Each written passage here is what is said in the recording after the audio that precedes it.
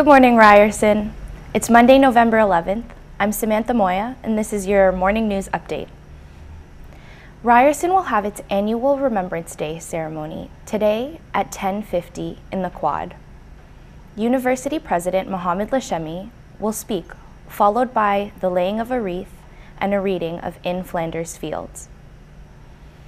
This past Friday, a fire broke out in an apartment in St. Jamestown, hospitalizing two residents and forcing hundreds, to, hundreds of occupants to evacuate.